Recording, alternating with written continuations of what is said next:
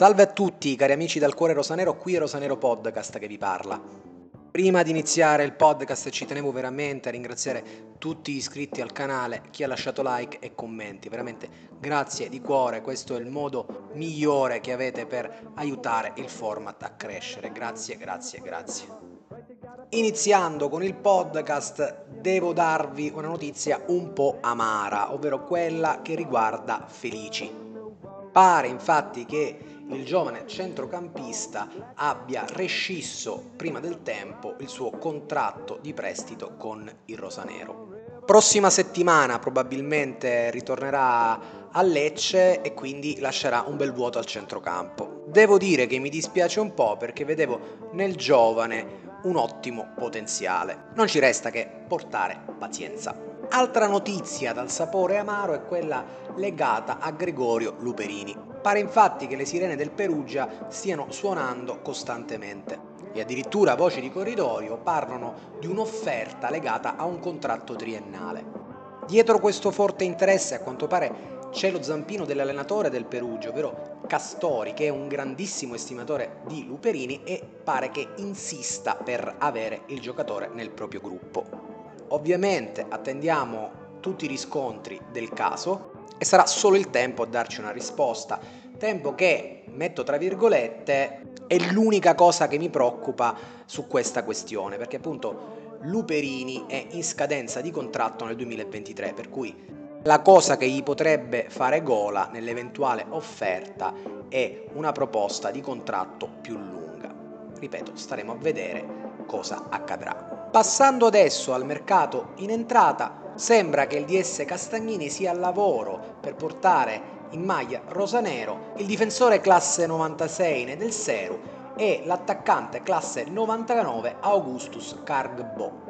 E a quanto pare le voci di mercato vedono anche la dirigenza del Crotone, proprietaria di entrambi i calciatori, molto propensa a concludere l'affare in favore dei Rosa. Anche qui non ci resta che attendere i riscontri. E adesso passando al punto hot della puntata di oggi del podcast, mi volevo soffermare su quella che sarà l'amichevole di oggi alle ore 18 contro il Pisa. Possiamo dire che questo sarà un test piuttosto tosto per i rosanero, ma sottolineo test. E ben lo sappiamo perché andremo a scontrarci contro la nostra vecchia conoscenza, che poi vecchia non è perché è giovanissimo, ovvero Lorenzo Lucca. Sarà interessante vedere infatti le due forze in campo, ovvero Pisa e Palermo, come affronteranno questa amichevole e soprattutto sarà molto importante per scaldare il motore in vista dell'inizio del campionato. Sicuramente vedremo un Pisa piuttosto affamato in questa amichevole, quantomeno questo è quello che mi aspetto io, essendo che ha perso di fatto la finale dei playoff contro il Monza, sfiorando di fatto la Serie A, ma dall'altra parte abbiamo il Palermo, bello carico, che ancora ha nella mente la sua vittoria dei playoff di Serie C e che probabilmente ha voglia anche di mettersi in discussione contro una squadra interessante e forte come il Pisa.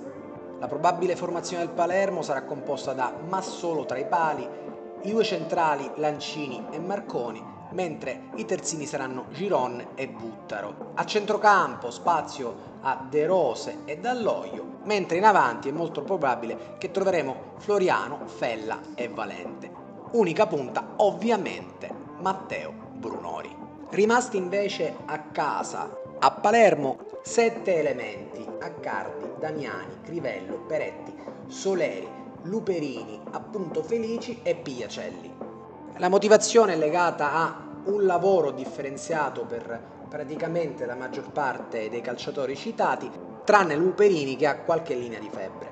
Altresì Mirko Piacelli deve formalizzare il suo tesseramento in rosa-nero. Aggiungo anche che la partita sarà visibile in chiaro sul canale 18 del digitale terrestre ma in Toscana, mentre in streaming è possibile visionarla sul sito ufficiale dell'emittente www.50canale.tv. Non so voi, ma io la vedrò sicuramente. Ovviamente fatemi sapere il vostro parere qui sotto con un commento anche a fine partita.